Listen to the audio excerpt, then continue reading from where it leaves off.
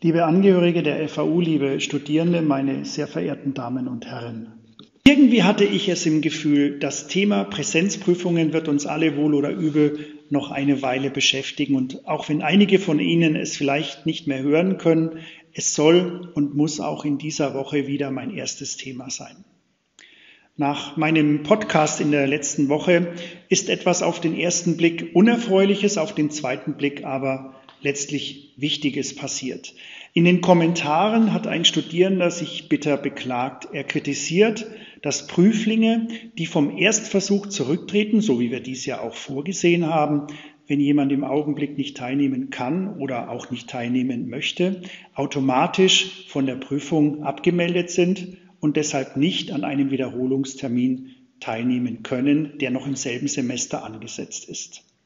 Stattdessen können Sie die Prüfung erst dann ablegen, wenn die Veranstaltung das nächste Mal regulär angeboten wird. Wenn es schlecht läuft, heißt das erst im darauffolgenden Jahr.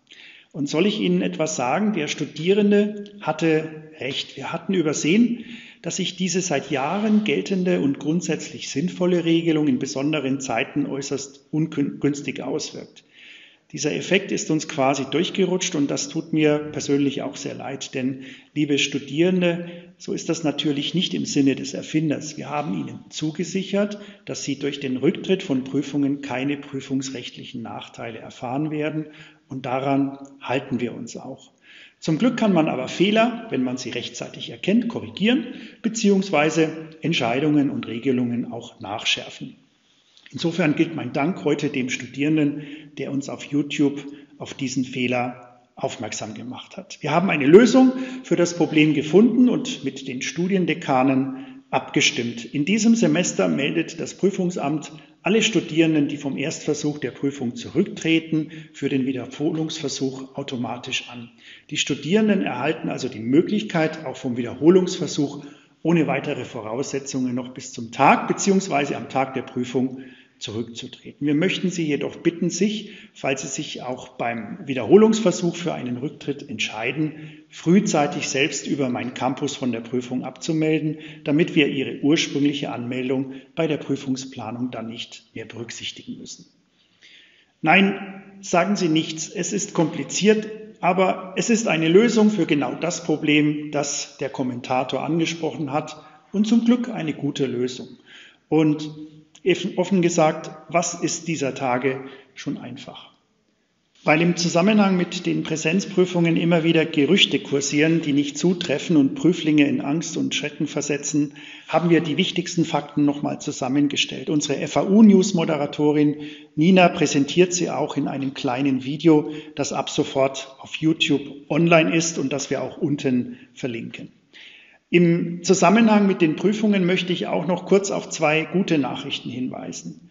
Bedürftige Studierende können dank einer Spende der Firma Engel und Völkers beim Studentenwerk kostenlos eine FFP2-Maske bekommen, wie sie sie beim Einkaufen oder im öffentlichen Nahverkehr ja schon heute verwenden sollten. Sie müssen dafür einen Nachweis über die BAföG-Förderung oder eben Überbrückungshilfe vorlegen. Und wir haben Sonderkonditionen mit zwei Hotels ausgehandelt, weil einige Studierende aktuell gar keine Wohnung in Erlangen gemietet haben für die Prüfung, aber trotzdem irgendwo übernachten müssen. Die Teilnahme an einer Prüfung zählt als dienstliche Verpflichtung. Es muss im Hotel also der Nachweis zum Beispiel über die Prüfungsanmeldung vorgelegt werden. Dann werden die Studierenden quasi wie Geschäftsreisende behandelt. Mehr Infos dazu findet ihr in Kürze auf unseren Webseiten. Und nun noch ganz schnell zwei weitere Themen. Viele von Ihnen haben sich mittlerweile an Lehren und Studieren via Zoom gewöhnt und trotz verschiedener Schwächen lässt es sich mit dem System sehr gut und unkompliziert arbeiten. Sie erinnern sich vielleicht daran, dass wir vor einem Jahr in der ersten Welle der Corona-Pandemie Zoom quasi zunächst als Pilot eingeführt haben, mit der Option, es nach einer gründlichen Evaluation dann dauerhaft einzusetzen. Dieser Termin steht nun an. Am 1. April laufen die gegenwärtigen Lizenzen aus. Wir würden Zoom gerne weiterführen und sind daher in sehr konstruktiven Gesprächen mit den Datenschützern aller bayerischen Unis. Es soll eine bayernweit einheitliche Lösung geben.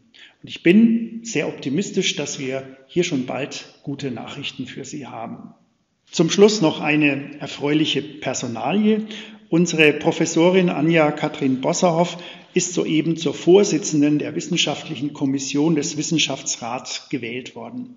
Das ist eine hohe Ehre und zeigt einmal mehr, wie anerkannt unsere Forscherinnen und Forscher in der Gesellschaft und in den höchsten wissenschaftlichen Gremien sind. Die 32 Mitglieder der Kommission werden vom Bundespräsidenten berufen und vertreten die Wissenschaft in Deutschland.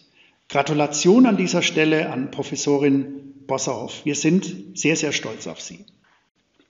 Und damit möchte ich für heute schließen und Ihnen eine gute und erfolgreiche Woche wünschen. Passen Sie auf sich und aufeinander auf und vor allem bleiben Sie gesund.